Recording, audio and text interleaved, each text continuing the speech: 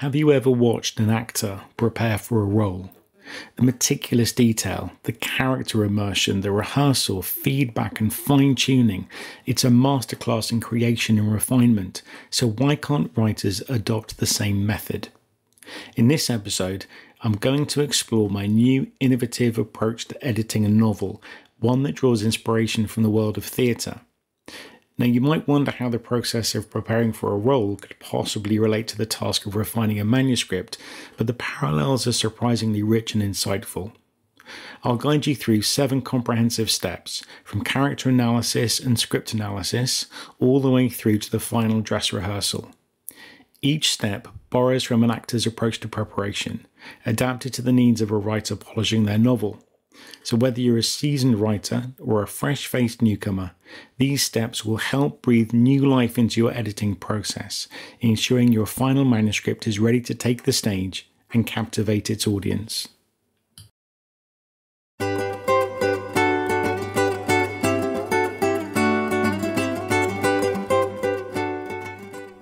Hello, I'm Stuart Wakefield, an Author Accelerator certified book coach and writer. With 26 years in theatre, broadcast media, and coaching under my belt, I know what makes stories work, and I love to share that with other writers because the world of storytelling, it's like the ocean. It's deep, it's mysterious, and it's a little bit scary to those who don't know how to navigate it. And with so much left to luck and timing, it's my mission to give great books the best chance of getting into readers' hands. In each episode, I'll share tips and plans of action that will help you write, edit, and publish your book. And if you're new to writing or consciously working to improve your craft, then this is the podcast for you.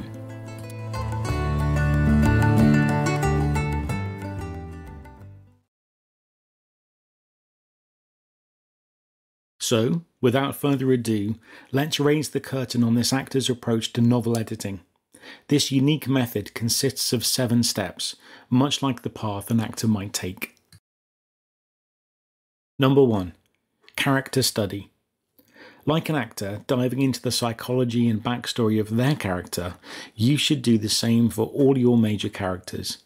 Explore each character's motives, desires, and fears in depth, even creating a detailed character biography if necessary. This understanding will allow you to ensure that every action and line of dialogue is consistent with their personality and past. Number two, scene breakdown. Actors often break down their scripts into individual scenes to study them more closely. You can do the same by breaking your novel down into its component scenes and chapters. Evaluate the purpose of each scene and whether it moves the plot forward or develops the character. Then cut or rewrite scenes that don't add value. 3. Rehearsal. Just as actors rehearse their lines to understand the flow and rhythm of the dialogue, you should read your novel aloud. This will help you catch any awkward phrasing, overused words, or clunky dialogue that you might have missed when reading silently. Number four, blocking. In theatre, blocking is the practice of planning out the physical movements of characters. For your novel, consider the physical space where your scenes take place. Are the settings clearly described? Are the movements of the characters logical and easy to follow? Enhance or revise the scenes as needed. 5. Improvisation. Actors often use improvisation to explore their characters in the scene more deeply. You can do the same by writing improv scenes. They're not intended for the final draft, but they might help you discover new aspects about your characters or plot, and you might even come up with a new scene that does actually make the final cut. 6. Feedback. Actors don't work in isolation. They constantly receive feedback from their director and their fellow actors, and you can benefit from a similar feedback loop. Have a trusted friend, writing partner, or ideally a book coach, a professional editor read your novel and provide constructive criticism.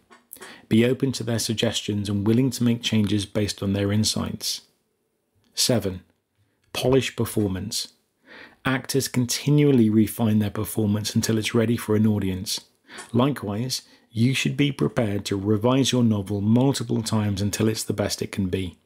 Even when you think it's finished, let it sit for a while, then come back to it with fresh eyes and revise again. Let's delve a little deeper into step one the character study. In a character study, you're aiming to get into the mind of your character, much like an actor immerses themselves in the role they're preparing to play. This deep understanding will allow you to create a character that's consistent, believable, and engaging. Number one, backstory. Create a backstory for each major character. This doesn't need to be included explicitly in the novel, but it can help inform your understanding of the character. What was their childhood like? What kind of family do they come from? What major events shaped their life?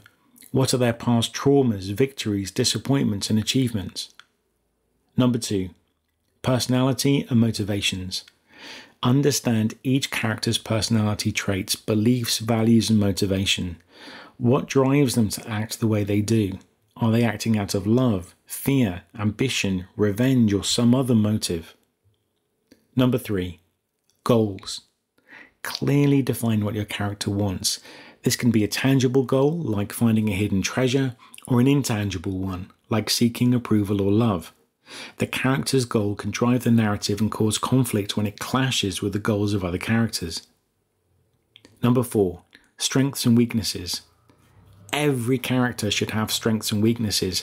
A character's strength can help them overcome challenges, while their weaknesses can create hurdles and conflicts. How do these strengths and weaknesses affect their journey? Number five, growth and change. How does the character evolve throughout the story? Good characters often experience some kind of growth or change over the course of a novel, and understanding this arc can help make the character more dynamic and interesting. Number six, character relationships. How does your character interact with others? Understanding these relationships can shed light on the character's personality and motivations. For example, a character might act differently around their boss than they do around their friends or family. Number seven, Visualize. Lastly, try to visualize your character. How do they look, speak, move, dress, and so on? This can help you write more vivid and engaging descriptions. By conducting a thorough character study, you can create characters that feel real to the reader and drive your story forward in a believable way.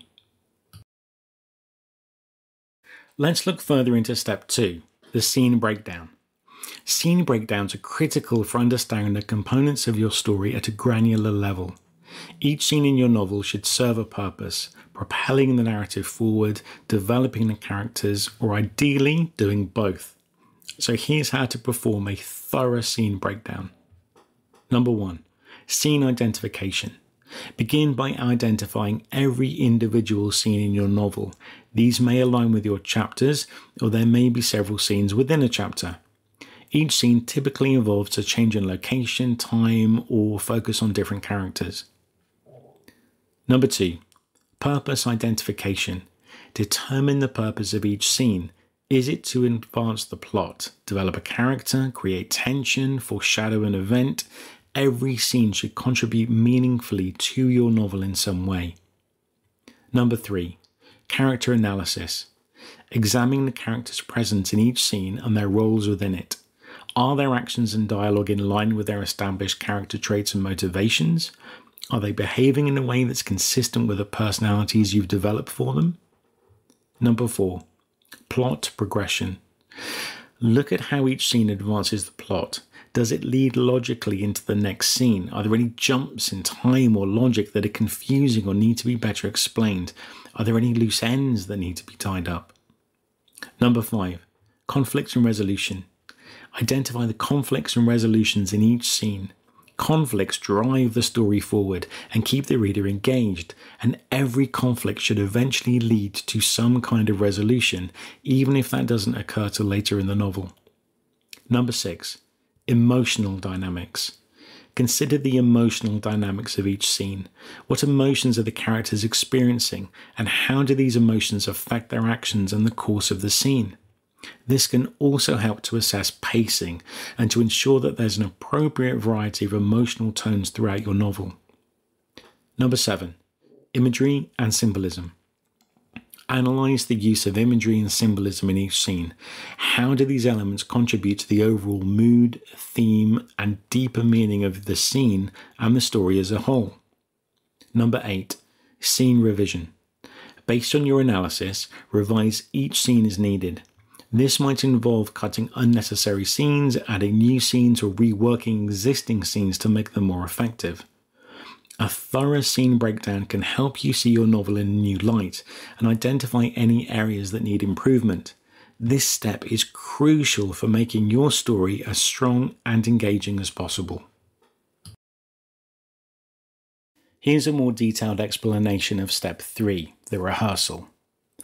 So much like actors rehearsing lines to understand the flow and rhythm of the dialogue, reading your work aloud is a powerful tool for novel editing. It can help you identify awkward phrasing, overused words, or clunky dialogue that might have been missed while reading silently. Here's how to get the most out of this step. Number one, read aloud. So start by simply reading your work aloud. Pay attention to the rhythm and the flow of the words. Does the dialogue sound natural? Does the prose have a pleasant rhythm, or do you find yourself stumbling over certain phrases? Number two, record and play back. Consider recording yourself reading the novel. You can play it back, effectively allowing you to become the listener. And this can provide a new perspective on how the words flow together and can also make any issues with dialogue or prose more apparent. Number three, identify issues and listen carefully for issues. These could be sentences that are too long or convoluted, dialogue that doesn't sound quite right, or overused words and phrases. Number four, test different voices. If your novel includes dialogue, try giving each character a distinct voice when you read their lines, and this can help you determine if their dialogue fits their character would this character really say things in this way? Number five, check pacing. Reading aloud can also help you assess the pacing of your story. Does the story flow at good speed, or are there sections that drag or feel rushed? 6. Check for consistency. As you read, check that character, voices, and narrative styles are consistent throughout. 7. Revise. Use your findings from reading aloud to revise your work. Rewrite awkward sentences, replace those overused words, and make other changes as necessary to improve the flow and readability of your novel. Remember, this process is like an actor's rehearsal. It's not about getting it perfect the first time, but about exploring, discovering, and refining. It's a powerful tool in your editing process, providing a different perspective on your work and enabling you to polish your prose to a shine.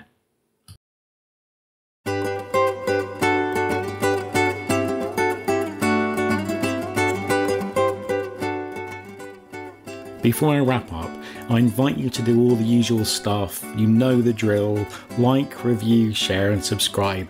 But better than all of that, come and visit me at thebookcoach.co. You can sign up for my free self editing guide and take a look at the services I provide. But there's tons, and I mean tons, of free useful stuff on my blog too.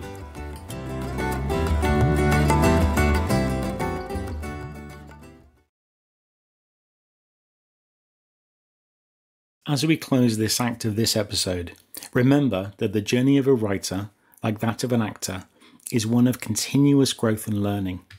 Just as actors continually refine their craft, so too should we, as writers, strive to improve our work with every draft. So this unique approach we've explored today, it draws parallels between an actor's preparation for a role and the editing process of a novel. And I'm encouraging exploration attention to detail, creativity, and critical feedback, all the while keeping the heart and soul of your narrative intact. So, next episode, we'll take a look at blocking, improvisation, feedback, and polishing the performance. And that's not all. I'm writing a comprehensive book that supports this method, so treat this as your first taster.